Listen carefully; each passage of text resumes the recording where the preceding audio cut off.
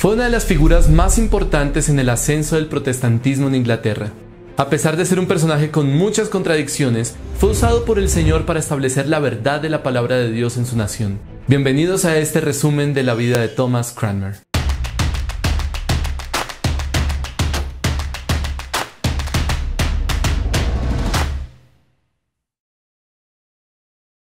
Thomas Cranmer nació el 2 de julio de 1489 en el poblado de Aslockton, Nottinghamshire, Inglaterra, siendo el segundo hijo de Thomas y Agnes Cranmer.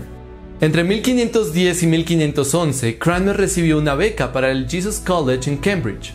Después de un breve periodo fuera de sus estudios debido a un matrimonio secreto del que pronto enviudó, Cranmer continuó en Cambridge para finalmente ingresar a la iglesia como clérigo.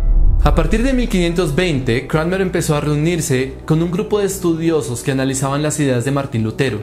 Debido a su afinidad con la Reforma, el grupo empezó a ser conocido como la Pequeña Alemania. A este grupo pertenecían personajes como Robert Barnes, Thomas Bilney, William Tyndale y por supuesto Cranmer. Hasta ese momento, las acciones de Cranmer no iban más allá del mundo académico, pero algunos acontecimientos políticos lo pondrían en el centro de importantes sucesos históricos.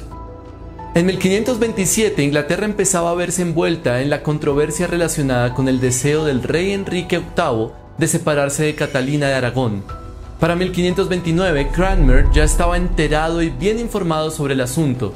Sin embargo, para finales del año una plaga azotó al país y llegó hasta Cambridge. Así que Cranmer decidió abandonar la ciudad e irse a la casa de su padre en Essex. Coincidencialmente, el rey estaba en las inmediaciones y algunos consejeros reales decidieron buscar a Cranmer para discutir el tema del divorcio. Enrique convocó entonces a Cranmer para una entrevista y le comisionó la difícil tarea de argumentar sobre el asunto. Cranmer se dedicó entonces a buscar bases en las escrituras, en los padres de la iglesia y en los concilios eclesiásticos que pudieran amparar el divorcio. Cuando Cranmer terminó su tratado, se le pidió que lo presentara en Oxford y Cambridge.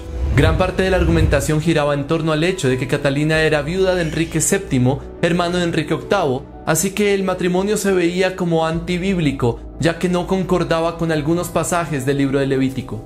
Pronto Cranmer tendría que viajar a Roma para defender sus argumentos. Aunque fue bien recibido, sus postulados no produjeron ninguna decisión, probablemente más por temas políticos que argumentativos. En 1532, Cranmer fue enviado a Alemania como embajador ante el emperador Carlos V, pero aprovechó para establecer contacto con los luteranos.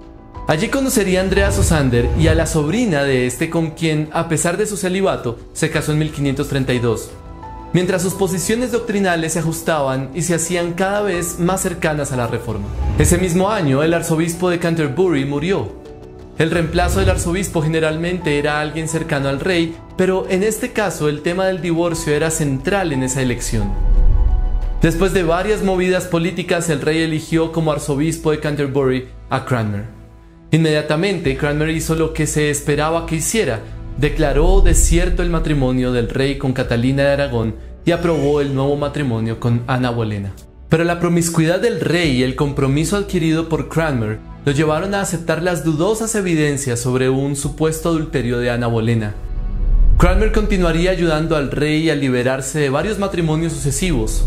Hasta aquí no existía ninguna duda de que Cranmer simplemente hizo lo que le pidieron que hiciera, aunque es improbable que sus opiniones privadas fueran en contra de alguna forma con sus acciones públicas. Sin embargo, Cranmer siguió trabajando en pro de una reforma, así que pronto promovió la publicación de la Biblia en el idioma inglés y emitió una promulgación que le daba la posibilidad a cada iglesia del territorio de tener una copia de las Sagradas Escrituras. En 1547, con el ascenso al trono de Eduardo VI, el único hijo varón legítimo de Enrique, llegaría el momento de Cranmer de aplicar las reformas que tanto ansiaba. Pero él no era el único en Inglaterra que luchaba por una reforma de la iglesia ya que varios intelectuales ingleses y extranjeros luchaban por la causa. También el tutor de Eduardo, Edward Seymour, así como el sucesor John Dudley, eran promotores de una iglesia nacional inglesa que fuera protestante. En medio de los cambios, Cranmer asumió el papel principal. Reescribió las liturgias públicas, las homilías, las oraciones privadas y los artículos de fe, Muchas prácticas del catolicismo romano, como el llevar velas en el día de la Candelaria, colocar cenizas en miércoles de ceniza, llevar palmas en domingo de ramos y encender incienso fueron abolidas. Se retiraron las imágenes en las iglesias, la comunión ahora incluía pan y vino, se abolió el celibato clerical y la liturgia sería ahora en inglés. No obstante, quizá el aporte más importante de Cranmer a la iglesia en Inglaterra fueron los 42 artículos de 1553. En este documento se definieron las posiciones doctrinales de la iglesia de Inglaterra. Se rechazó la doctrina del purgatorio y de la transubstanciación, la veneración de los santos y las reliquias. Se defendió la justificación por la fe, la salvación solo por Cristo y la supremacía de la escritura. Pero las circunstancias esta vez se moverían en contra de Cranmer. El rey Eduardo VI moriría en 1553 y tras un fugaz reinado de la protestante Lady Jane Grey ascendería al trono la católica romana María, la hija de Enrique VIII y Catalina de Aragón. Pronto María ejecutaría los cambios necesarios para convertir a Inglaterra nuevamente en una nación sometida a la Iglesia romana. Enemigos jurados de Cranmer y del protestantismo serían puestos en la Cancillería y en los diferentes obispados, mientras la reforma en Inglaterra era revertida rápidamente. Inicialmente, Cranmer sería detenido por participar en una conspiración para evitar que María I subiera al trono.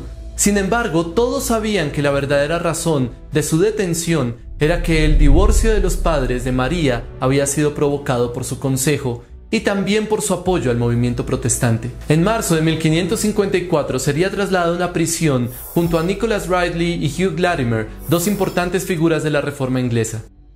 En septiembre de 1555 se iniciaría el juicio contra Cranmer, que concluiría en febrero de 1556, en el que sería humillado públicamente, degradado de sus cargos eclesiales y entregado al Estado para su ejecución. Pero las autoridades querían que Cranmer se retractara públicamente de sus posiciones. Para esto fue obligado a presenciar el martirio de Ridley y de Latimer, fue trasladado a una prisión más amigable mientras era persuadido de firmar varias retractaciones en busca de un indulto. Cranmer cedería al fin y firmó una retractación privada de sus opiniones reformadas, pero la corona esperaba también una retractación pública con el objetivo de asestar un golpe contundente a la moral del protestantismo. Sin embargo, pasara lo que pasara, la corona estaba dispuesta a ejecutar la sentencia de muerte sobre Cranmer. Así, el 21 de marzo de 1556, Cranmer sería sacado de prisión para ser llevado a la hoguera, no sin antes requerir que se retractara públicamente antes de ser quemado, pero la inminencia de la muerte hizo que Cranmer recobrara el valor. Así que repudió el documento de retractación que había firmado. De esta manera, Cranmer deshizo en un breve momento toda la propaganda que el Estado había difundido sobre su retractación y devolvió el valor a los reformadores sobrevivientes. Posteriormente a la hoguera y mientras su cuerpo se quemaba, mantuvo firmemente la mano derecha con la que había firmado la retractación en las llamas hasta que la mano fue consumida. Como diría J.C. Ryle, había pecado en gran medida, sí, pero también en gran medida fue su arrepentimiento. Al igual que Pedro cayó, pero como Pedro volvió a levantarse. La muerte de Cranmer causó una profunda impresión entre los ingleses, no solo en ese momento, sino en las décadas siguientes. Ese impacto se mantuvo en el tiempo ya que todos los eventos de la ejecución serían recogidos por John Fox en su obra Acts and Monuments de 1563, actualmente conocida como el Libro de los Mártires. Cranmer siempre ha sido un personaje difícil de juzgar históricamente, ya que su cercanía al poder lo hizo cómplice de muchas acciones que hoy juzgaríamos como inapropiadas. Sin embargo, debemos pensar en la forma en la que Cranmer veía el poder. Para él la obediencia al rey y a las autoridades era una cuestión de principios, como lo creía la mayoría de las personas en su tiempo. Cranmer fue un intelectual que fue comprendiendo cada vez más su papel.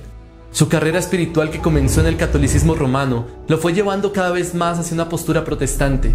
Así para Cranmer era más importante obedecer a lo que él conocía por la razón que a su propio instinto. En consecuencia, se preocupó por establecer cambios que iba descubriendo como esenciales para afirmar la verdad en la iglesia y en la sociedad. En cuanto a su pensamiento doctrinal, su estudio de teología descartó las áridas secuelas del escolasticismo medieval y se dirigió a la escritura y a los primeros padres de la iglesia. Su creencia en el derecho divino de los reyes para gobernar la iglesia y el Estado y su teología bíblica lo convirtieron en el anglicano característico de su época. El intelectual y en parte el padre fundador espiritual de la Iglesia Reformada en Inglaterra. Si pensamos en Cranmer como un reformador, es probable que haya sido muy distinto a Lutero o Calvino. No fue un gran escritor de teología, tampoco pastoreó una gran iglesia, de hecho empezó su carrera en la Reforma un poco tarde en su vida. Sin embargo, él ayudó a formar la iglesia de Inglaterra, quizá mucho más que cualquier otra persona. Thomas Cranmer murió por su fe a pesar de ser un personaje con muchas imperfecciones. Era tímido y le tenía mucho miedo a sufrir. No siempre defendió la verdad. Tenía pecados y faltas como cualquier otro hombre, pero Dios lo usó para extender las verdades de la Reforma en Inglaterra y le permitió morir como un mártir heroico por la fe. ¿Y tú qué piensas? ¿Cuál crees que es el legado más importante de la vida y del ministerio de Cranmer? ¿Cómo puedes usar los dones que el Señor te ha dado para promover la causa del Evangelio? ¿Crees que Dios puede usar a personas con un pasado difícil y una vida imperfecta para extender su obra? Déjanos tu opinión en los comentarios, pero también suscríbete y activa la campanita para ver más videos como este.